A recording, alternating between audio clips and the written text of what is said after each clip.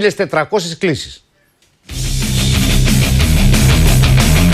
Το Σταρ φέρνει στο φως της δημοσιότητας στι δύο συνομιλίες που καίνε τον παρουσιαστή στη μεγάλη υπόθεση των ναρκωτικών. Στις 14 Ιανουαρίου, ο πασίγνωστος παρουσιαστής φέρεται να τηλεφωνεί σε ένα από τα μέλη της πείρα των οργανωμένων οπαδών, ο οποίος σύμφωνα με τους αστυνομικούς εκτελούσε εντολές του ανθρώπου που η δίωξη ναρκωτικών θεωρεί εγκέφαλο. Στην πρώτη συνομιλία που κατέγραψε ο υπερκοριός της ΕΕΠ, ο παρουσιαστής λέει στο νεαρό. Έλα, φίλε, μπορείς να βρεθούμε; Τώρα είμαι στο γήπεδο. Τι ώρα τελειώνεις; Γύρω στις 9.30. Να πούμε 9 και 4. Θα είμαι στα τηλέφωνα, οκ; Θέλω δύο θέσεις για τη θύρα. Εγώ θέλω άμα βρεις. Ναι, εντάξει.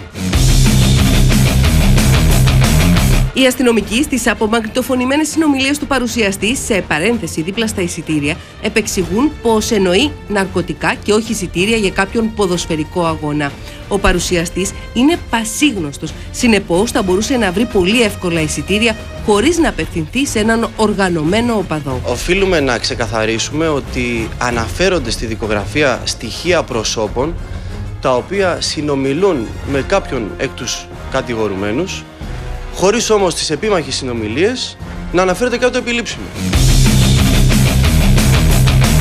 Στις 17 Μαρτίου χτυπά και πάλι το τηλέφωνο του νεαρού που φέρεται ότι συμμετείχε στο κύκλωμα. Στην άλλη άκρη της τηλεφωνικής γραμμής είναι και πάλι ο γνωστός παρουσιαστής. Ζητά εισιτήρια παρά το γεγονός ότι για το ματ της επομένης, 18 Μαρτίου, η ομάδα του δεν διαθέτει εισιτήρια στους οπαδούς της, καθώς είναι φιλοξενούμενοι. Η μεταξύ τους οικειότητα είναι εμφανής.